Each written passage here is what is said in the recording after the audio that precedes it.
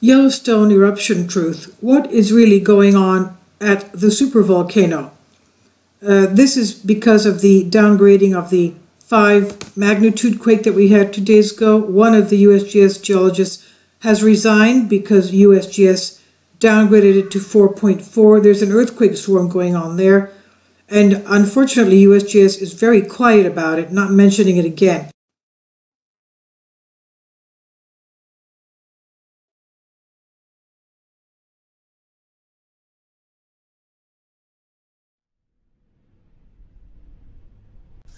Yellowstone Eruption 2016. Shocking new video shows what's really going on in Yellowstone. Over the past week, our planet has been hit by large earthquake after large earthquake. And according to Volcano Discovery, there are 38 volcanoes around the world that are erupting at the present time.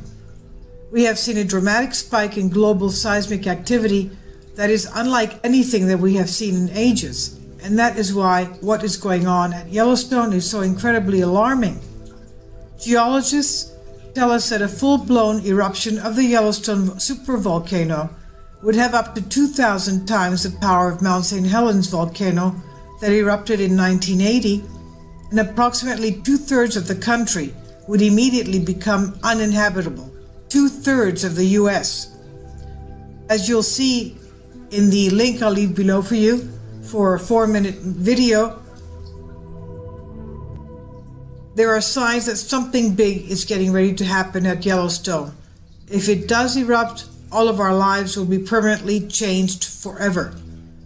In the video footage, you'll see that it's just a few hours of uh, the time lapse of the geysers, a few geysers of Yellowstone, which are continually spouting gas and steam continuously. It's not just every 20 minutes that the uh, Old Faithful, for example, gushes. It's continuously. It's as if the whole thing is a boiling cauldron underneath. Going back to the article, it says, I want to share with you some footage from Yellowstone that was recorded yesterday, Thursday night. In the video, it appears that it's a bright, it's a bright as day, even though it's in the middle of the night. You can see the whole host of geysers streaming violently, and Old Faithful just keeps going off over and over. It's stunning footage posted by a YouTube user known as Cat Martin 2016, and the following is what she has to say about the video. She says, There are places steaming that I have never seen steam before. And also note that the bright ground is back. There are no shadows, so it's not from above. As you know, the cameras were froze up last night, so we could not see what was going on, or so we thought. But I found a way. Somehow, don't ask me how, the Geyser Observation Study site was able to capture the entire night with no freeze ups and cutting in and out. How is that? Anyway, I got it and slowed it down so you can see it. Old Faithful had weird seismos last night and was going off constantly. But it wasn't just that one night. The weird activity at Yellowstone has continued, and you can watch even more recent footage that Cat Martin has posted. And what does this mean? I don't know, but watching that footage definitely got my attention. And it's interesting to know that just a few weeks ago, the Shoshone River changed color and started boiling without any warning whatsoever. The Shoshone River near Yellowstone National Park suddenly and without warning started boiling, changing color, and began to emit a sulfuric odor on March 25th. Nearby witnesses wondered if they were all going to die. The current consensus among geologists and other experts is that a portion of the Shoshone River began to boil, located near Cody, Wyoming, and a new Yellowstone vent has opened up. As Mysterious Universe reports, the boiling river near Yellowstone runs just east of Yellowstone National Park. It's close enough to the park and supervolcano to be a canary in a coal mine as it relates to unusual geothermic events. The event was initially recorded by Dewey Vanderhoff, a photographer who spotted the Shoshone River near Yellowstone boiling and noted that bizarre features in the river. Other bizarre features were there as well. When a river located above a supervolcano that could wipe out most of the country starts boiling, you would think that you would make headline news over the nation, but it didn't. Well, we wonder why. They don't want people to panic. That's why. It would be exceedingly difficult to overstate the potential danger that Yellowstone poses to the United States. Other than an extremely large asteroid or meteor, it's hard to imagine any natural disaster that would pose a greater threat. The following comes from an excellent article by Steve Elwert, and he says The Yellowstone caldera, or cauldron, sits on top of North America's largest volcanic field. 400 miles under the Earth's surface is a magma hotspot that reaches up to just 30 miles below ground level before spreading out over an area of 300 miles across three states. Three states. Over all this sits a volcano. While most scientists believe the probability of a major eruption is very small, there are signs that have some analysts worried, and most agree the volcano holds catastrophic potential.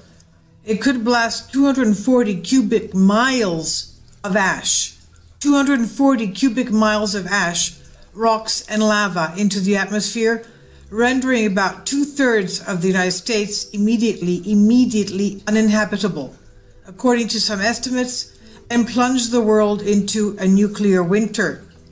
That certainly does not sound good. And as I mentioned above, volcanic activity all over the planet is rising. 38 volcanoes are erupting at the moment, and it seems like we we hear about another new eruption almost every day now. Let us hope that Yellowstone does not erupt anytime soon. There are approximately 3,000 earthquakes in the area around Yellowstone every single year, so it's a very seismically active region. In the event of a full scale eruption of Yellowstone, virtually the entire northwest United States will be completely destroyed. Basically, everything within a 100 mile radius would be immediately killed. Salt Lake City would literally be toasted, and almost everyone and everything in Denver, Colorado would be dead in a short order. Further away, volcanic ash would rain down continuously for weeks.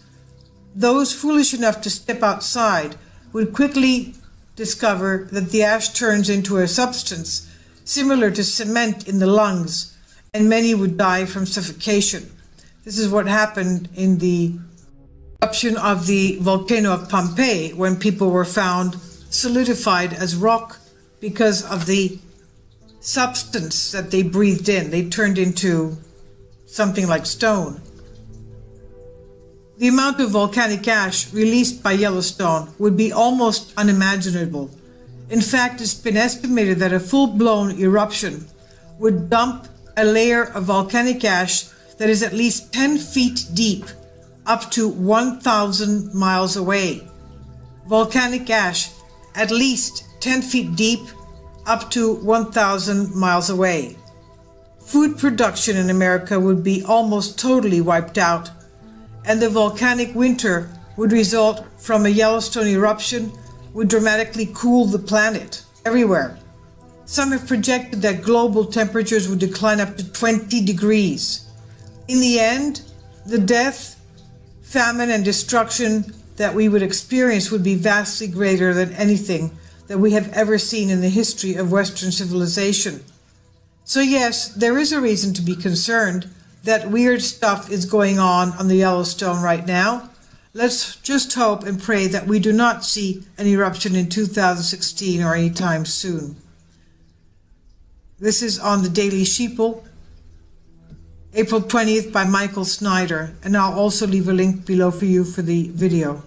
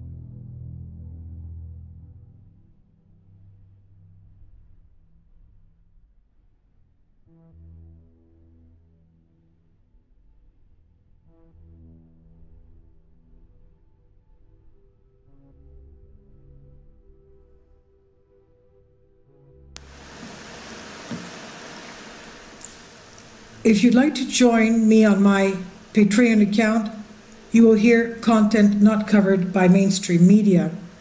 These riveting stories will be based on my research, and I will state my opinions and give my personal insight on diverse and controversial subjects and world events, events not covered by mainstream media, and not certainly on not supported by YouTube guidelines. So whatever I have on my Patreon, most of those will not be on my YouTube channel. Please consider becoming a member today. More of the, the most significant and important videos will be on my Patreon channel. Your support helps me to continue my research and keeps this YouTube channel alive. And we depend on your support, your generous charity, because we help economically challenged families here in Athens, Greece, in Kapota, and we also help the young generation with university tuition and the community around our church. Thank you.